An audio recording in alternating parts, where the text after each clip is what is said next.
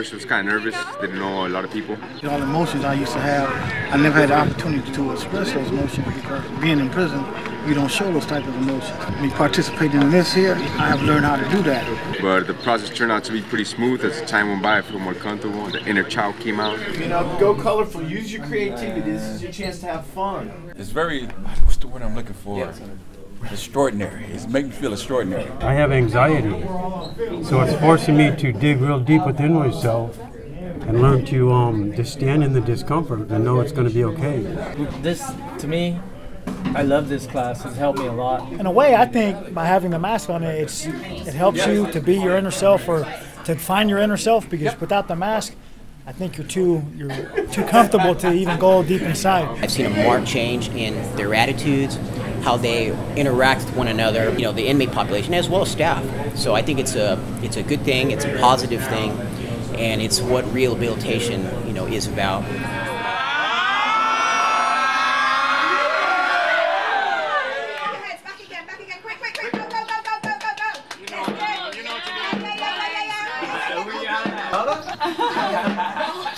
Aquino. Mario. Mr. Pantaloni. Max. Max? I'm greedy. And it's payday, and I want all your money right now. I'm Capitano. I win wars. I, I fight battles. Yeah. I destroy enemies. Yeah. These townmen don't got nothing on me. Oh, right away, Max, Max, right away. I'm Halakino. I am the butler. You're a doctor of what? what? Endodiscrepity. It's, uh, you know, when you have that, you know, You're a liberated woman, you don't care.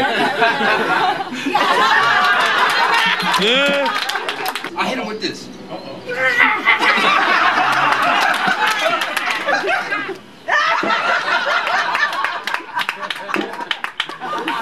You have different races, age groups, all working together and exploring and expressing different emotions that they normally uh, wouldn't do in a prison setting. You are a chocolate cake together. Five, four, three, one.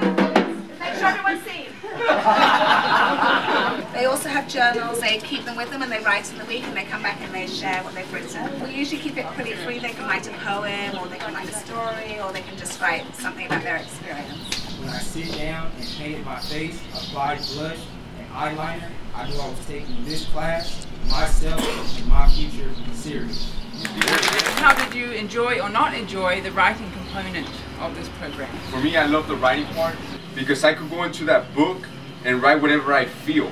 I don't have to worry about somebody judging me. I don't have to worry about putting on the mask again to act like I'm tough. What is it that you all gained out of the program that you didn't experience in life before? In the class, you learn that the experience in life is we're all going to have be mad, we're all going to be sad, we're all going to have moments of, of, of emotions. But what do you do with that emotion, you know? Sometimes the best thing to do is the exact polar opposite. It taught me to open up and not be afraid to reach out to another human being. It's been liberating. Even though we're not out out there in the streets, I feel more free today than I have, you know, being out there in the streets. We're stuck in here behind, you know, a lot of obstacles. And when you get that little bit of support, it makes you feel like, you know what, maybe I am somebody. Maybe I can do something. And that's, that's just another. I'd like to say thank you for this opportunity. 'cause 39 years of being, I've never seen nothing like this. It's been a blessing for me, and a blessing to be to be able to do it with, and share with them, with everybody, and to share with y'all. Thank you, thank you so much.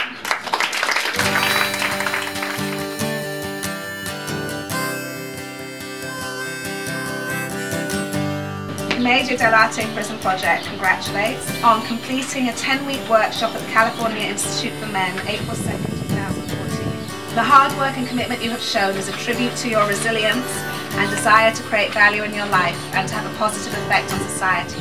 Signed, some guy called Tim Robbins.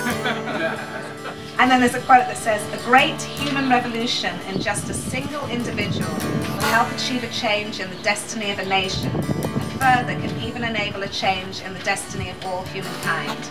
And that's why we do what we do. I'm stronger now. Yes, I've grown. I come home.